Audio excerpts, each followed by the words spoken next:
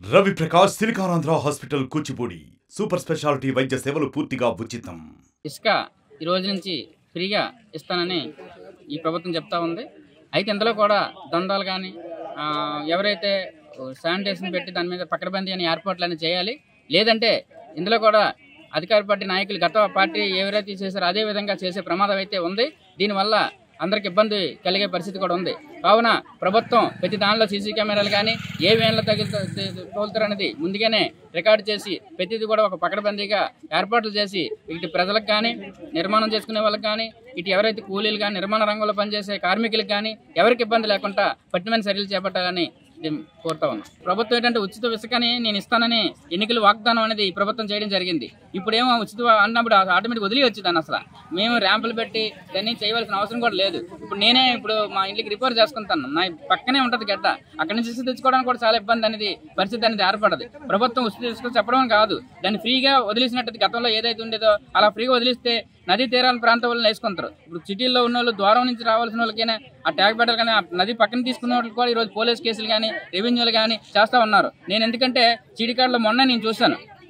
Yes SC గారు ఎవరైనా ఎన్ని రోజులు తోలారు రాత్రి అంతా వెళ్ళి ఉదయాన్నే లెక్కలేసుకుంటారు ఆ విధంగా కూడా దందాలు అనేది జరుగుతూ ఉంది. ఖచ్చితంగా ఇలాంటి దందాలని అరికట్టి చేయాలి. లేదంటే ఇప్పటికైనా ఈ ట్యాగులు ఇవన్నీ చెప్తే అనాఫీసాలు తోలుతూ ఉంటారు. దీని మీద రెవెన్యూలు పోలీసులు కూడా దీన్ని జనాల దగ్గర డబ్బులు వసూలు చేసే కార్యక్రమం కూడా ఉంటుంది. ఒక పక్క ప్రభుత్వానికి ఆదాయం రాదు అధికారులు కూడా హెరాస్మెంట్ అనేది జరుగుతూ ఉంటుంది. కనుక ఖచ్చితంగా ఫ్రీ అనేది ఫ్రీ వదిలేయాలి. అంతే తప్ప కానీ ఫ్రీ అని చెప్పి మళ్ళీ దానికి అన్ని అనేకమైన పాలసీని పెట్టి ఏదో చేయాలని చేస్తుంది. దీనివల్ల మరింత సమస్యలు ఎదురయ్యే పరిస్థితి అయితే ఉంటుంది. World class infrastructure. Technical clubs. World class hostels. KL, deemed to be university. ఈరోజు ఇసుక పాలసీ అనేది కొత్త ప్రభుత్వం తీసుకొని వచ్చింది ఆ ధర చూస్తే పాత ప్రభుత్వానికి కొత్త ప్రభుత్వానికి ధరలో ఏమీ తేడా లేదు పాతిక రూపాయలు అదనంగా ఈరోజు పడుతున్న పరిస్థితి అనేది ఉంది ఇసుక పాలసీ కొత్త పాలసీ వలన ఇప్పటికే పనులు కూడా లేకుండా భవన నిర్మాణ కార్మికులు చాలామంది ఇబ్బందులు అనేవి పడుతున్నారు. ప్రభుత్వం ఉచితంగా ఇసుక ఇస్తానని చెప్పింది. ఈరోజు టన్నుకి రేటు కట్టి సొంత వాహనాలు పెట్టుకొని తీసుకెళ్ళాలని చెప్పేసి చెప్తా ఉన్నారు. దీనివలన సాధారణ ప్రజలు ఇల్లులు కట్టుకోవడం కూడా చాలా ఇబ్బంది అనేది అవుతుంది కాబట్టి గతంలో ఎలాగైతే తెలుగుదేశం ప్రభుత్వంలో ఉండేదో ఫ్రీగా ఇసుక తీసుకునే పరిస్థితిని అదే పరిస్థితిని కొనసాగించాలి. దీనివలన ఎక్కువ మందికి ఉపాధి అనేది కలుగుతుంది. ఉపాధి కలిగిందంటే డబ్బులు కూడా రొటేషన్ అనేది అవుద్ది. భవన నిర్మాణ కార్మికులు ఉపాధి లేకుండా పోతుంది. కాబట్టి వాళ్ళకి పని కల్పించేటట్టు కొత్త పాలసీలో ప్రజలకి అందుబాటులో వచ్చేటట్టు ఈరోజు ఇసుకను తీసుకురావాలనేది మేము ఉచిత ఇసుక పాలసీ. భవన నిర్మాణ కార్మికులు ఎంతో ఆశగా ఎదురు పాలసీ. ఈ పాలసీ వలన గతంలో టన్ను మూడు వందల డెబ్బై ఐదు రూపాయలు రవాణా ఛార్జీలు కాకుండా ఉండేది. ఈరోజు వంద రూపాయలు చేయడం చాలా హర్షించదగ్గ విషయం. ఈ విధంగా చేయడం వల్ల ఒక ట్రాక్టర్కి నాలుగు టన్నులు పట్టినట్టయితే నాలుగు వందల రూపాయలతో లభిస్తుంది. ట్రాన్స్పోర్టింగ్ కలిపితే అంటే గోదావరి దగ్గర అయితే స్టాక్ పాయింట్ దగ్గర మళ్ళీ రెండు ఛార్జీలు కలుపుతారు కాబట్టి కొద్దిగా ఎక్కువ ఉంటుంది. గతంలో కంటే ఇది రెండు వేల రూపాయలు తక్కువకే లభిస్తుంది. అటువంటి పరిస్థితిలో రెండు వేల రూపాయలు అంటే ఒక ఇల్లు కట్టుకునే ఓనర్కి మూడు మేస్త్రి కూళ్ళను లేకపోతే మూడు పెద్ద కూళ్ళను ఏవి మిగులుతాయి. ఈ విధంగా అటు ఇల్లు కట్టుకునేవాడు బాగుపడతాడు. అతను కూడా తొందరగా ముందుకొచ్చి ఇసుక ఇంతకుముందు దొరకడానికి బంగారం కంటే ఎక్కువగా ఉండేది. అటువంటిది ఈరోజు ఫ్రీ మార్కెట్ చేసి ఎంతో హెల్ప్ చేశారు ఆయన చంద్రబాబు గారు. ఈ విషయంలో ఎన్డీఏ కూటమి నాయకులైనటువంటి మోడీ గారిని జనసేన నాయకుడు అధ్యక్షుడైనటువంటి పవన్ కళ్యాణ్ గారిని తెలుగుదేశం పార్టీ అధ్యక్షుడైనటువంటి చంద్రబాబు గారిని నేను ముఖ్యంగా మరీ మరీ అభినందిస్తూ అభినందనలు తెలియజేసుకుంటున్నాను. ఈ భవన నిర్మాణ కార్మికులు ఒకలే కాదండి. ఈ కార్పెంటర్స్ బతుకుతారు అదేవిధంగా టైల్స్ వేసి వాళ్ళు బతుకుతారు ఎలక్ట్రికల్ వర్కర్లు ఎలక్ట్రికల్ వర్కర్స్ బతుకుతారు. వీళ్ళందరికీ కూడా ఉపాధి దొరుకుతుంది విపరీతంగా. ఇంకేదంటే ఇసుక మెయిన్ ఇసుక దొరకడం వలన ఈజీ అయిపోతుంది భవన నిర్మాణం. అంచేత చాలా బాగుంటుందండి. అదేవిధంగా గవర్నమెంట్ వర్కుల్లో ఎస్టిమేట్ కాస్ట్ పెరుగుతుంది ఇసుక తాలూకు రేటు వలన. అటువంటిది ఇసుక రేటు తగ్గడం వలన ఎస్టిమేట్ కాస్ట్ కొంచెం తగ్గి సీసీ రోడ్లు కానీ డ్రైన్లు కానీ వేసినప్పుడు అట్లీస్ట్ మినిమం ఎంతో కొంత ముందుకి ఆ, ఆ రోడ్డు కానీ కాలువ కానీ నిర్మాణం చేయడంలో ముందుకు పోవడానికి ఉపయోగపడుతుంది కాబట్టి ఈ విషయాన్ని ప్రజలందరూ గమనించండి ముఖ్యంగా.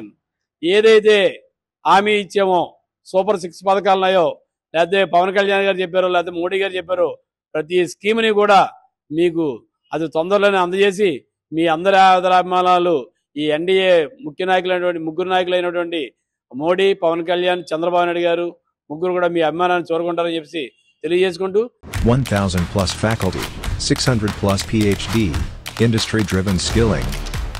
KL, deemed to be university. కూటమి గవర్నమెంట్ వచ్చిన తర్వాత సీఎం చంద్రబాబు నాయుడు గారు ఈ ఈ రోజు నుంచి ఇసుక అనే దాన్ని ఫ్రీ చేయడం ఎంతో ఆనందకరం విషయం ఎందుకనంటే గత ప్రభుత్వంలో ఒక సామాన్యుడు ఇల్లు కట్టుకోవాలంటే ఒక లారీ ఇసుక తెచ్చుకోవాలంటే నలభై వేల నుంచి అరవై వేల రూపాయలు ఖర్చు అయ్యేది ఈ రోజు రెండు వంద రూపాయలకే పెట్టడం ఫ్రీ చేయడం. చాలా మంది ప్రజల్లోని ఈ ఆశాభావం వ్యక్తం చేస్తూ సంతోషంగా దాని అందరికన్నా ముందు బాగా ఈ కార్మికులు ఏదైతే తాపీ ఉన్నారో వాళ్ళంతా హ్యాపీగా ఫీల్ అవుతున్నారు చంద్రబాబు నాయుడు గారి వల్ల. ఎందుకంటే లాస్ట్ గవర్నమెంట్లో రా మన జగన్మోహన్ రెడ్డి చేసిన పనికి పనులు లేక రాష్ట్రాన్ని వదిలి బయటకు పోయి కూలి పనులు చేసుకున్న స్థితికి ఈ డ్రగ్స్ ఇలాంటి దానికి అలవాటు బయటకు పోయి రాంగ్ స్టాక్ ఎక్కిన వాళ్ళందరూ కూడా ఈ రోజు మళ్ళీ సొంత ఊర్లోనే పని చేసుకోవడానికి తిరిగి ఆంధ్రాకు రావడం ఈ ఫ్రీ ఇసుక ద్వారా కూడా ఎంతో శుభకార్యమైన విషయం ఇది. ఇది- ఇటువంటి ఇంకా కూడా రేపు మనం ఇంకా చూసేకొలది రెండు మూడు నెలల్లోనే చంద్రబాబు నాయుడు గారి వల్ల సీఎంగా ఈ సీఎం చంద్రబాబు నాయుడు గారి వల్ల మనం ఇంకా శుభకార్యాలు మంచి మంచి శుభవార్తలు విని ప్రజలు ఇంకా ఆనందంగా చంద్రబాబు గారిని పట్టాభిషేకం ఇంకా కడతారని కోరుకుంటున్నారు. ఎందుకంటే ఇప్పుడు ఇదే కాకుండా రేపు ఆడవాళ్ళకి అన్నిట్లో కూడా పథకాలు చాలా ఉన్నాయి. ఒకటి ఒకటి one by one one by one రాష్ట్రాన్ని ఒక గాడి ఎక్కించి ఒక గాడిలోకి పెట్టి మన ఇన్కమ్ సోర్స్ అంతా ఒక లైన్లోకి తెచ్చి మోడీ గారితో మాట్లాడుకొని మనకు రావాల్సిన నిధులు రప్పించి మన రాష్ట్రాన్ని బాగు చేయడానికి శ్రీ నారా చంద్రబాబు నాయుడు సీఎం గారు ఎంతో కృషి చేస్తున్నారు.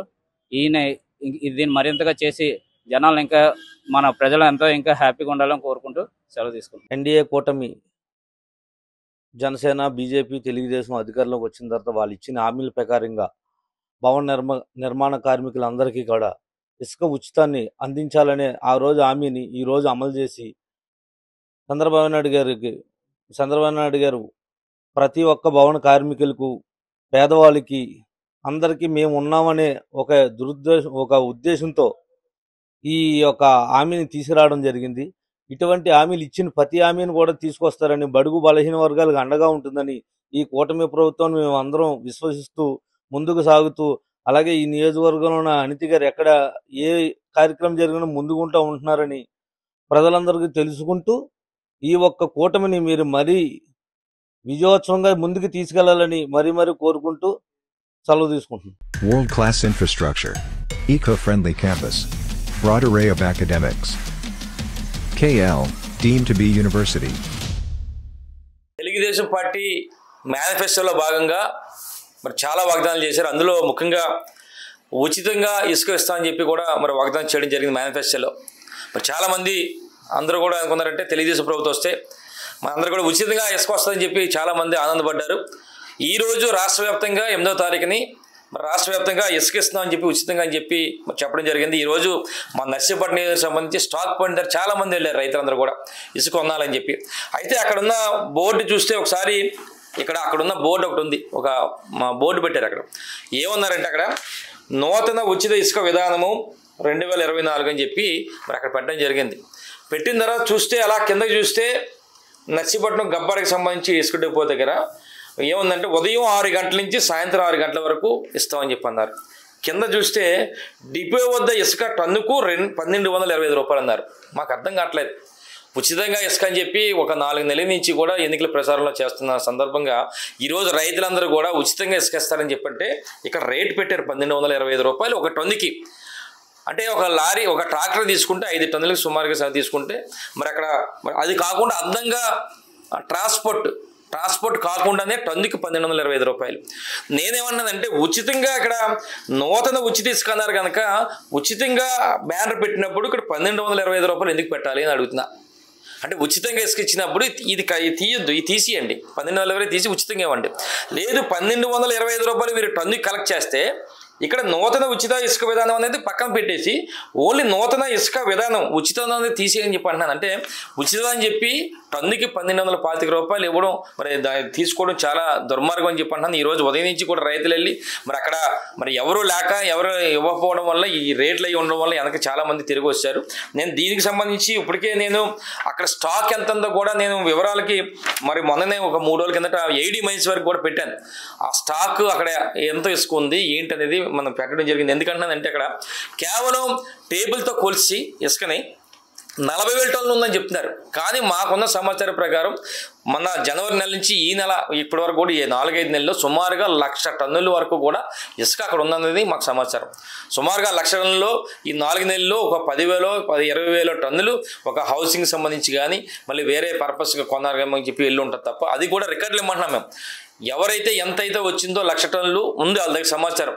అది ఏడి మంచి దగ్గర ఉందా లేదా రెవెన్యూ డిపార్ట్మెంట్ దగ్గర ఉందా మాకు తెలియదు కానీ ఏ రోజుకు ఆ రోజు ఈ మూడు నెలలు నాలుగు నెలల్లో ఎంత వచ్చిందని ఉంది. కనుక దయచేసి జిల్లా కలెక్టర్ వాళ్ళని కోరుతున్నాను. ఎందుకంటే ఇప్పుడు కేవలం నలభై వేల టన్నులు ఉందంటున్నారు అక్కడ ఇసుక. కానీ మా అంచనా ఏంటంటే లక్ష టన్నుల్లో సుమారుగా ఎట్టి బస్సులు కూడా డెబ్బై వేల నుంచి ఎనభై వేల టన్నులు ఇసుక అక్కడ ఉంటుంది. అంటే వీళ్ళు చెప్పిన ప్రకారం నలభై వేల టన్నులు అమ్మితే ఇంకా నలభై వేల టన్నులు ఉంటుంది. అంటే నలభై వేల టన్నులు దోపిడీ చేయడానికి ఈ నర్సీపట్ల తెలుగుదేశం పార్టీ నాయకులు ప్రయత్నిస్తారు. ప్రయత్నిస్తారు కనుక దయచేసి కలెక్టర్ గారిని కోరుతున్నానమ్మా. మీరు వెంటనే ఏదైతే రికార్డులు ఉన్నాయో నాలుగు నెలల నుంచి రికార్డులన్నీ అన్నీ కూడా తెప్పించండి. ఎంత వచ్చిందో ఎటు చెప్పి మొత్తం అందరూ కూడా ప్రజలకు చెప్పి ఎట్టి బస్సులు కూడా ఈ నలభై వేల టన్నులు సుమారుగా ఐదు కోట్ల విలువ చేసి ఇసుకని దోపిడీ కాకుండా మరి కాపాడి ఈ ప్రాంత ప్రజలకు ఉచితంగా ఇవ్వాలని చెప్పి మనస్ఫూర్తి కోరుకుంటూ మరొకసారి మీరు ఏదైతే ఇది ఉందో మరి ఉచిత ఇసుక విధానం అనేది మరి మార్పు చేయాలి. ఇక్కడ ఉచితంగా తీసేయండి లేదా పన్నెండు వందల పాతిక తీసేయాలని చెప్పి మీ ద్వారా తెలియపరచడం జరుగుతుంది. మరిన్ని వీడియోస్ కోసం ఛానల్ సబ్స్క్రైబ్ చేయండి. లేటెస్ట్ అప్డేట్స్ కోసం వాట్సాప్ ఛానల్ ఫాలో చేయండి. అండ్ లింక్ డిస్క్రిప్షన్లో ఉంది.